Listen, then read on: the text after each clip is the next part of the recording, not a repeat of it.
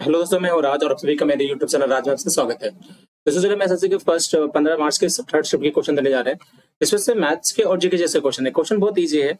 और जैसे इसमें से जो स्टूडेंट ने रिव्यू दिया, वो उसने कहा कि, सर, ये जो अभी थर्ड शिफ्ट का मात्र क्वेश्चन मैथ का ऐसा था कि पंद्रह मिनट में करने वाले क्वेश्चन थे। ओनली पंद्रह मिनट हमारे पास कुछ क्वेश्चन हाथ लगे मैथ्स के जो बताया गया है। पहले क्वेश्चन क्या क्या है सब समझते हैं। जैसे देखिए, पहला क्वेश्चन एकदम इजिली इस मात्र तरह था कि one plus sine square forty five बटा वन माइनस हो सकता फोर्टी फाइव का मान क्या होगा? तो देखो one plus sine square forty five का मान क्या होता है? वन बाय रूट टू होता है साइन फोर्टी फाइव का। तो सब स्क्वायर लगा देंगे।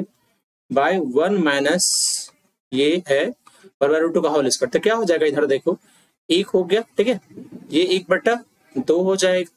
नीचे एक हो गया और माइनस एक बटा दो हो जाएगा, ठीक है? आंसर क्या होगा इसका? देखो, ये एक दो यानी एक पुनः एक बटा दो यानी, है ना?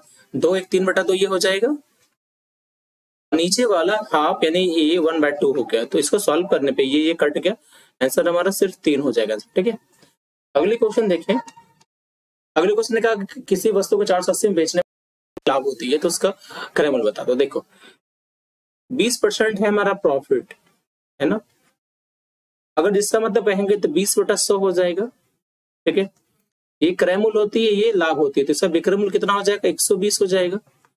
और इसकी वैल्यू है 480 तो बारह सौ अड़तालीस, चार गुना है तो इसको चार से गुना कर दीजिए। ये 400 हो गया आंसर, ठीक है? ये दूसरे क्वेश्चन थे। एक क्वेश्चन कुछ इस तरह से आया था कि किसी त्रिभुज का एक कोण है अठासी डिग्री, ठीक है? देखो मतलब एक ऐसे थे, ट्रायंगल था। जैसे कहा गया था, एक ऐसा ट्रायंगल है एबीसी का, ठीक है? ये कौन ए जो है ना, वो कितना बगा अठासी डिग्री है। ठीक है? और यहाँ पे जो है, ये अंत केंद्र बन रहा है। यानी आई पूछा था ये कौन कितना होगा? सबको पता है कि जो कौन अंत कोण बनते हैं तो एंगल बी आई सी यहाँ पे क्या होगा? यहाँ पे होगा। 90 plus angle A by two हो जाएगा, ठीक है? तो ये इसका आंसर हो जाएगा 90 डिग्री, और प्लस 88 और बाय टू है ना? यानी चौवालीस हो जाएगा इसका कट करके। तो कितना हो जाएगा? चार, नौ, चार, तेरह, यानी एक सौ चौतीस डिग्री आंसर ठीक है? अगले क्वेश्चन को लेकर चले। एक क्वेश्चन आए थे कि सेब के मूल्य में तीस प्रतिशत की कमी होने पर एक आदमी चार सौ सत्तर में दस सेब ज़्यादा खरीद सकता तो सेब का घटा हुआ मिल देखो। सिंपल से इसका क्या कर सकते हैं? हम ऐसे कर सकते हैं, चार सौ सत्तर का दस प्रतिशत, ठीक है? नहीं, तीस प्रतिशत, चूँकि कम हो रहा है ना तो उसी की वजह से खरीदना चार सौ सत्तर का तीस प्रतिशत बराबर कितना सेव हो गया? दस सेव हो गया। ठीक है, ये हो गया। देखो, क्योंकि तो चार हम दस सेब कब ज़्यादा खरीद पाए?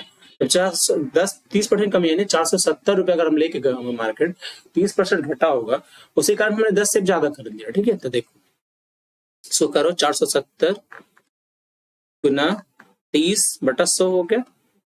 यहाँ से कट गए और बराबर ये दस सेब की कीमत हुई, दस सेब की कीमत है ठीक है और ये दस सेब की घटी हुई मूल्य है जो घट करके आया तो कितना हो जाएगा दस सेब का देखो, सात, तीन सती इक्कीस, दो बच रहा है, तीन चौक बारह, तेरह, चौदह, एक सौ इकतालीस, है ना? ये हो गया दस सेब का मूल्य। आपसे पूछा, सेब का घटा हुआ मूल्य। तो हम यहाँ पे एक सेब का मूल्य ज्ञात करेंगे तो कितना हो जाएगा एक सेब का मूल्य? देखो, ये कर सकते हो कि दस सेब का एक सौ इकतालीस रुपया हुआ, एक सेब का हो गया चौदह रुपये दस पैसा। ये घटा हुआ मूल्य हो गया, ठीक है? और अगर पूछता कि नहीं, आरंभिक मूल्य कितना था तो अब लिखते ऐसे चौदह दशमलव दस रुपया हुआ तो घटा हुआ मूल्य यानी तीस, यानी घट गया तो सत्तर परसेंट के बराबर हो गया। इसका सौ परसेंट निकाल देते तो ये हमारा हो जाता आरंभिक मूल्य जो शुरू में था, ठीक? कितना से कटता तो सात दुनी चौदह, जो भी कट करके आता वो आपका बढ़ा हुआ ठीक है? चलिए।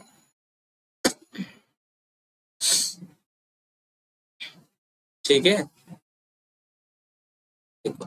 एक क्वेश्चन आई थी इस तरह से इसमें से कहा गया था इसमें से कौन से संख्या छत्तीस से पूर्णतः विभाजन देखो, मैं ये ना डेटा खुद से दे रहा हूँ, लेकिन क्वेश्चन यही था क्वेश्चन हंड्रेड परसेंट यही था कि इनमें से कौन से संख्या छत्तीस से पूर्णतः विभाजन अब डेटा स्टूडेंट बताने में सक्षम नहीं थे तो हमने अपने मन से दे दिया, ठीक है? क्योंकि छत्तीस से पूर्णतः विभाजन मतलब क्या होगा? वह संख्या छत्तीस से कटेगी जो की क्या करोगे? नौ गुना चार से अगर मल्टीप्लाई कर दो, जो संख्या नौ और चार दोनों से कट जाए तो नौ और चार से जो दोनों कट जाएगा, वो छत्तीस से भी कट जाएगा, ठीक है? तो चलो चेक करते हैं। चार के कटने का क्या नियम है कि अंतिम दो अंक चार से कटना चाहिए सबसे पहले? तो पाँच चार जो है आपका नौ ये नहीं कट रहा। चार चार, ये चौवालीस है या चार से कट जा रहा है। अब चार से तो कटे, फिर मुझे नौ से चेक कर रहा है कि कटेगा नहीं। तो नौ से मतलब क्या होगा? जिसका सम नौ से कटना चाहिए चलो देख लेते हैं। चार चार, आठ, दो, दस, तीन, तेरह और सात, है ना? सात, तीन, दस, बीस, यानी ये भी नहीं कटेगा। इसको देख लो। चार से चार तीन बारह, ये चार से कट गया, नौ से कटने के लिए दो, एक, तीन तीन, छह, चार, दस, आठ, अठारह, नौ से भी कट जाएगा। आंसर आपका ये होगा ठीक है दोस्तों? अगली क्वेश्चन एक क्वेश्चन इस तरह थी कि x प्लस वाई का कुछ वैल्यू था X square plus Y square कुछ वैल्यू था एक्स वाई पूछा था, ठीक है? तो देखो कैसे कर सकते हैं, इसको करने का तरीका सेम है, ये x प्लस वाई का होल स्क्वायर लिख दो, ठीक है? आपका हो जाएगा X square plus Y square plus two X Y हो जाएगा, ठीक? ऐसे हो गया। इसकी वैल्यू पाँच है तो ये पच्चीस हो जाएगा, ठीक है? ये आपका उन्नीस है, उन्नीस लिख दो यहाँ पे, ये टू एक्स वाई हो गया, ठीक है ना? ये उन्नीस छ यानी छ बचा ये टू एक्स वाई हो गया। एक्स वाई की वैल्यू कितनी होगी फ्रेंड तो तीन हो गए दोस्त, ठीक है?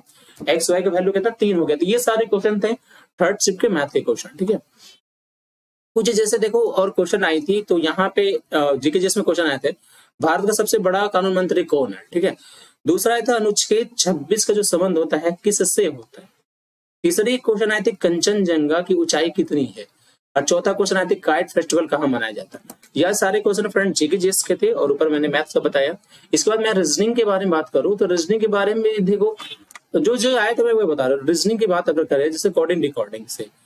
कोडिंग डिकोडिंग से क्वेश्चन बहुत आए थे। तीन क्वेश्चन कोडिंग डिकोडिंग से रहा, ठीक है? ये क्वेश्चन बहुत थे, ठीक है? और रही बात ज्योमेट्री का ना तो ज्योमेट्री से दो क्वेश्चन आया। एक ने हमने बताया आपको, ठीक है? जो कि अंत केंद्र वाला, एक और इस तरह से क्वेश्चन आए थे। ठीक है, यहाँ पे कोडिंग रिकॉर्डिंग के तीन क्वेश्चन आए थे। ब्लड रिलेशन से जो हमारा क्वेश्चन था, वो एक था। ठीक है? अच्छा ये कटिंग जो था पेपर कटिंग था क्वेश्चन उससे भी एक या दो क्वेश्चन आए थे। और फिर अगर, ठीक है, एक क्वेश्चन आपका आया था, वो ये था, देखो। जैसे हम नहीं कहते ना कि प्लस के जगह ये है, हो जाए माइनस की जगह ये हो जाए गुना की जगह ये हो जाए डिवाइड की जगह हो गया। इससे ये क्वेश्चन आए थे। ये सब रीजनिंग के हमारे क्वेश्चन है ठीक है? इसे बाद चलते हैं फिर नेक्स्ट पार्ट में कि कौन कौन सा क्वेश्चन आता है मैं आपको बताता हूँ, ठीक है? चलिए मिलता है नेक्स्ट वीडियो तब तक के लिए बाय बाय थैंक यू